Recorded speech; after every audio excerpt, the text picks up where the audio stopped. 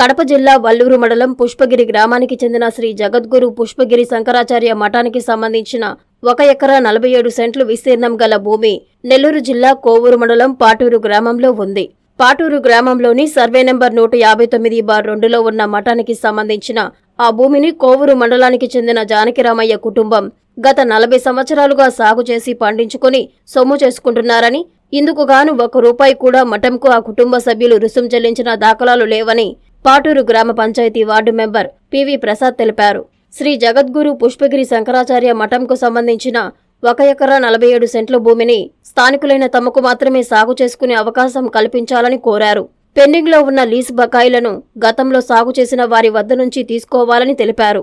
ఇప్పటికైనా మండల revenue endowment అధికారులతో పాటు శ్రీ జగద్గురు పుష్పగిరి శంకరాచార్య మఠానికి సంబంధించిన అధికారులు స్పందించాలని ఆయన కోరారు. ఈ కార్యక్రమంలో రామిశెట్టి శేషయ్య అంకెం శ్రీనివాసులు రామలింగయ్య మల్లికార్జున మడియాల కృష్ణయ్య గ్రామస్తులు తదితరులు పాల్గొన్నారు. మాది కోవూరు మండలం పాటూరు గ్రామం. ఇక్కడ మా ఊర్లో శ్రీ జగద్గురు పుష్పగిరి శంకరా శంకరాచార్య మహాప్రస్థానం అని పుష్పగిరి గ్రామం ఒల్లూరు మండలం కడప జిల్లా వాళ్ళది. ఆ మఠానికి సంబంధించిన భూమి నూట యాభై తొమ్మిది డాష్ రెండు ఎకరా నలభై ఏడు సెంట్లు మాగాణి భూమి.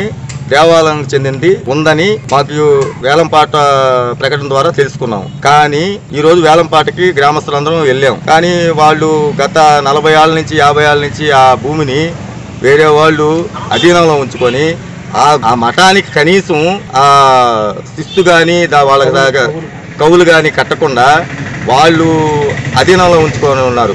దీనివల్ల ఆ గుడికి డబ్బులు రావట్లేదు. ఆ ఎండోన్మెంట్కి డబ్బులు రావట్లేదు. ఏం చేస్తున్నారా? పదిహేను సంవత్సరాల నుంచి ఏం చేస్తున్నారంటే ఆ అధికారులకే తెలియాలి. ఈరోజు వేలం పాటకు వచ్చిన పెద్ద మనుషులకే తెలియాలి. పోయినా కానీ నాలుగో సంవత్సరాలు అయినా కానీ వాళ్ళు ఆపుతారు. కనీసం పదిహేను సంవత్సరాల నుంచి ఈ భూమిని ఈ విధంగా ఇటువంటి భూములు ఎన్నో ఉన్నాయి రాష్ట్రంలో. ఆయన ఎక్కడో కడప జిల్లా అయినా ఆ మఠానికి సంబంధం మాకేం లేదు. మా ఊర్లో నడిబొడ్డులో ఇప్పటికైనా కానీ ఈ ఆస్తి ఊరికే మార్కెట్ ధర ప్రకారం అయినా కానీ కనీసం డెబ్బై లక్షలు పోతుంది. మెయిన్ రోడ్డుకు ఆనుకొని సాగు భూమి ఉంటే ఈ విధంగా ఏది ప్రభుత్వం ప్రభుత్వ అధికారులు ఆ ఎండోన్మెంట్ అధికారులు ఏం చేస్తున్నారు? ఈరోజు వచ్చేవారు అందరి దగ్గర మా గ్రామస్తులందరి దగ్గర మా దగ్గర ధరావత సొమ్ము వెయ్యి రూపాయలు లెక్కన కట్టించుకున్నారు. మళ్ళీ అప్పటికప్పుడు ఫోన్లు వచ్చినాయి అప్పటికప్పుడు తట్టా బుట్టా సర్దుకొని హ్యాపీగా వెళ్ళిపోయారు ఇప్పటికైనా కానీ ఆ మఠానికి సంబంధించిన ఆ దేవుడు భూములు కూడా తినాలనుకుంటే ఇక భగవంతుడు ఏమైనా క్షమిస్తాడేమో కానీ మేమైతే క్షమించం. మా గ్రామస్తులు అసలు పాటూరు గ్రామంలో ఇటువంటి అరాచకాలు అన్యాయాలు జరిగేదానికి మేమైతే ఒప్పుకోము. అది ఏమైనా కానీ ఎంత దూరమైనా కానీ మేము కోర్టు ద్వారా కూడా ప్రొసీడ్ అవ్వాలనుకున్నాం ఇప్పటికైనా ఆ మఠం అధికారులు కానీ వేరే వాళ్ళు ఎవరైనా కానీ ఈ భూమిని ఆ మఠానికి చెందే విధంగా చేస్తారని కోరుకుంటాం ఈ మీడియా ప్రకటన కూడా ఎందుకు ఇస్తున్నామంటే మాకేం సంబంధం లేదు. ఊర్లో మా గ్రామస్తులుగా మా గ్రామం ఒడ్డు- కనీసం ఈ ఊర్లో ఆ పొలము ఆ మటన్ అని కూడా ఎవరు తెలియదు. ఆయన ఎవరో జానకి రామయ్య అంటాడు ఇంకొక ఆయన చెంచురామయ్య జానకి రామయ్య అనే పొలము అనేసి మా పెద్దోళ్ళు కూడా చెప్తున్నారు. అంటే ఎంత సీక్రెట్గా ఎండోన్మెంట్ భూములు కూడా ఎంత సీక్రెట్గా వెలంపాటలు జరగకుండా పాటలు లేకుండా. ముప్పై ఐదు సంవత్సరాల నుంచి పాఠాలు లేకుండా ఎంత సీక్రెట్గా మెయింటైన్ చేసుకుంటూ వస్తున్నారో అంటే ఈ భూమనే కాదు. ఊళ్ళో ఉన్నాయి శివాలయం భూమని అదని ఇదని ఏదో ఉన్నాయి.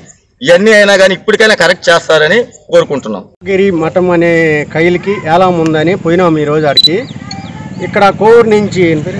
జానకిరామ్ జానకి రామయ్య అతను వచ్చినాడు. అతను వచ్చి ఏలంపాట జరిగే ఏలంపాటని ఆపినాడు. దేనికి ఆపినాడంటే మేము కోర్టుకి నోటీసు వేసినాము. కోర్టుకి నోటీసు వేస్తే కోర్టు పిటిషన్ కొట్టేశారు. ఏమని? నువ్వు ఈ పాటలో పాల్గొనేదానికి లేదు అనని.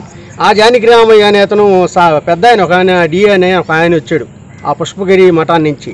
అతను వచ్చిన తర్వాత ఇతను ఏమంటాడంటే లాయర్కి ఫోన్ చేసి ఇచ్చాడు. లాయర్కి ఫోన్ చేసి ఇచ్చి ఇది మేము మీరు కానీ మమ్మల్ని కానీ పాట కానీ బాణ్యకుండా కానీ ఉంటే మీకు ముప్పై ఏళ్ళ నుంచి కౌలు డబ్బులు ఇవ్వాల్సిన డబ్బులు మేము ఇవ్వు మమ్మల్ని మాకు కానీ ఆ కైలు ఇస్తే మేము దాన్ని ఆ డబ్బులు కడతాము మీకు అనే విధంగా ఆ జానకిరామని అతను చెప్పాడు ఇతనికి. ఈ డిఏ అనే అతనికి. మేము గ్రామస్తులంతా ఏమన్నాము అంటే నువ్వు కవులు డబ్బులు కట్టాల్సిన డబ్బులన్నీ కట్టేసి నువ్వు పాటలో బన్- పాలు పంచుకో అని మేము గ్రామస్తులందరం కలుసుకొని ఆ విధంగా ముందుకు పోయినావు దాంట్లో.